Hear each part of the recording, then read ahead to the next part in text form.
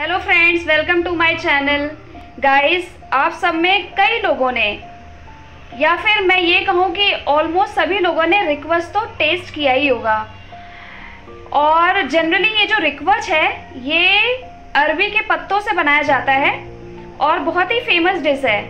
इसे पतौड़े भी बोलते हैं।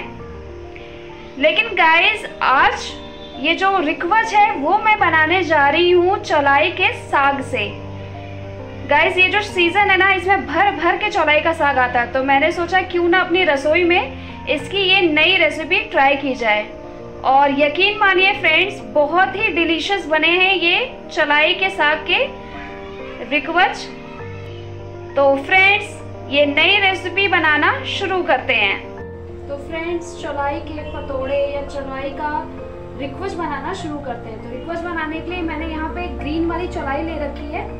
इसके डंठल मैंने हटा दी है सिर्फ़ पत्ती पत्ती ले रखी है, आप देख सकते हैं। ये मैंने ग्रीन वाली ले ली है।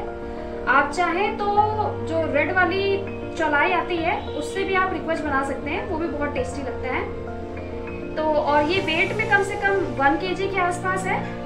तो मैंने इसको डंठल से हटाकर और अच्छे से दो से तीन पानी से वॉश करके ले लिया है।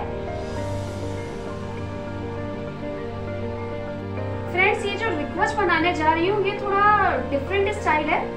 बेसिकली ये आजमगढ़ की साइड बनता है इस टाइप का रिक्वेस्ट तो रिक्वेस्ट बनाने के लिए आपको मैंने चौलाई का साग दिखा दिया। अब उसके अलावा मैं और और, और कौन कौन सी चीज़ें उसमें ऐड करूँगी वो मैं आपको दिखा देती हूँ। तो यहाँ मैंने ले रखा है 100 ग्राम के आसपास चने की दाल और 100 ग्राम के आसपास उड़द की दाल। इन दोनों दालों को मैंने अच्छे से धोकर चार से पाँच घंटे के लिए भिगो कर ले ली है। देख सकते हैं, काफ़ी अच्छे से भीग भीग गई है हमारी दाल। यहीं पर इसमें मैं ऐड करूँगी ये 50 ग्राम के आसपास बेसन। और ये जो दाल है ना, इसे हम ग्राइंड करेंगे, दरदरा सा। तो इसको जब हम पीसेंगे तो उसी के साथ हम पीसेंगे ये एक कप मैंने पोहा जो होता है, पतला वाला, जिससे हम पोहा बनाते हैं, उसको मैंने ले लिया है अच्छे से दो पानी से धो के इसको भी मैं इसके साथ पीस लूँगी। गाइस ये जो पोहा है ना, इसको डालने से फ़ायदा क्या होगा? जब हम रिक्वच को फ्राई करेंगे या सैलो फ्राई करेंगे तो हमारा जो रिक्वच है वो बहुत ही कुरकुरा बनेगा। आप पोहे की जगह चावल भी ले सकते हैं या चावल का आटा भी ले सकते हैं। चावल आपने भिगो लिया और उसको भी पीस के आप यूज़ कर सकते हैं। या फिर अगर आपके पास चावल का आटा है तो और भी अच्छी बात है, आप चावल के आटे को ही इसमें मिक्स कर सकते हैं। वही मैं आपको मसाला दिखा देती हूँ, मैंने मसाले में क्या क्या ले रखा है। तो यहाँ पे मैंने ले रखा है वन स्पून हल्दी पाउडर दो से तीन पिंच हींग, दस से बारह कलियाँ लहसुन की।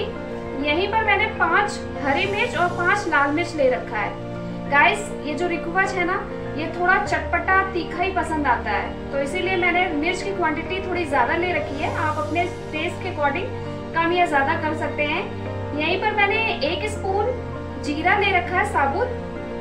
आधा स्पून मैंने गरम मसाला ले रखा है और नमक, आपके स्वाद के अनुसार। तो फ्रेंड्स सबसे पहले हम क्या करते हैं? चौलाई के साग को कट कर लेते हैं, उसके बाद आपसे मिलते हैं। फ्रेंड्स मैंने चौलाई को बहुत अच्छे से बारीक बारीक कट करके ले लिया है। अब नेक्स्ट स्टेप है हमारा दाल को ग्राइंड करना है।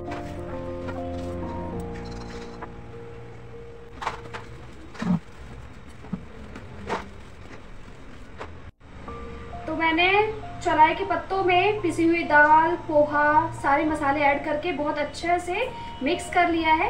यहीं पे मैंने स्टेनर ले रखा है क्योंकि ये जो रिक्वच है, इसको हम स्टीम करेंगे पहले, उसके बाद शैलो फ्राई या डीप फ्राई जैसा आपको पसंद हो वो हम करेंगे। तो इसे मैंने ग्रीस करके ले लिया है। अब हम छोटे छोटे रोल बनाकर इसमें रखते जाएँगे।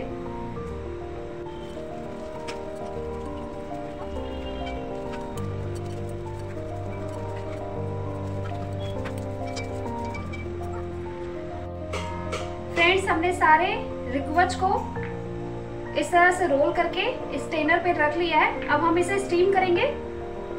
अब हम रिक्वच को स्टीम कर लेते हैं। तो स्टीम करने के लिए मैंने कढ़ाई में पानी डाल लिया था। पानी देख लीजिए बॉइल हो रहा है। तो अब हम इस पर स्टेनर को रख देते हैं। और इसे एक प्लेट से ढक देते हैं। इसे लो टू मीडियम फ्लेम पर अच्छे से पकने तक पकाएँगे। अब हमें जब ये चेक करना हो कि कब तक पकाना है तो स्टार्टिंग में 20 मिनट इसे हम ऐसे ही बॉयल होने देंगे, उसके बाद हम क्या करेंगे? टूथपिक से इसे चेक करेंगे। अगर टूथपिक हमारी क्लियर निकल रही है, अच्छे से इंसर्ट हो रही है, इसका मतलब है कि जो हमारा रिक्वेस्ट है, वो बहुत अच्छे से कुक हो गया है। तो अब हम इसे स्टीम होने देते हैं। रिक्वेस्ट को पकते हुए लगभग 25 से 30 मिनट हो गया है। अब मैं आपको चेक करके दिखाती हूँ। ये देखिए, कितनी इजीली ये टूथपिक हमारा इंसर्ट हो रहा है और बिल्कुल क्लीन होके निकल रहा है। तो हमारे ये जो रिक्वच है, वो बॉइल्ड होकर रेडी है। अब मैं फ्लेम को ऑफ़ कर दूँगी और इसे ठंडा होने दूँगी। ठंडा होने के बाद मैं इसे सैलो फ्राई करूँगी।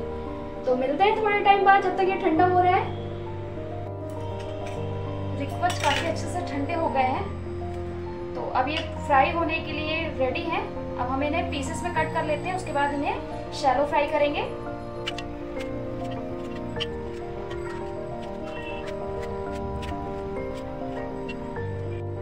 तो हमने सारे जितने हमें खाने हैं, उतने मैंने रिकोच को कट कर लिया है। आप देख सकते हैं कितने सुंदर लग रहे हैं ये डिलीशियस से। वैसे आप इनको ऐसे भी बॉईल करके भी खा सकते हैं। लेकिन जब आप इसे शैलो फ्राई या डीप फ्राई करते हैं तो इनके टेस्ट और ज़्यादा इन्हेंस हो जाता है। तो अब हम इन्हें सैलो फ्राई कर लेते हैं।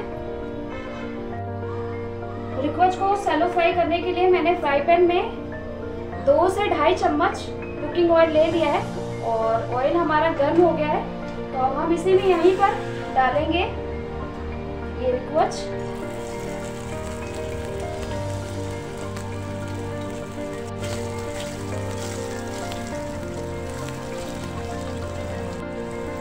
जितने फ्राई पैन में आ सकते थे। मैंने उतने रिक्वच के पीसेस फ्राई पैन में डाल दिए हैं। अब हम इन्हें दोनों साइड से मीडियम फ्लेम पर अच्छे से क्रिस्प होने तक सैलो फ्राई करेंगे।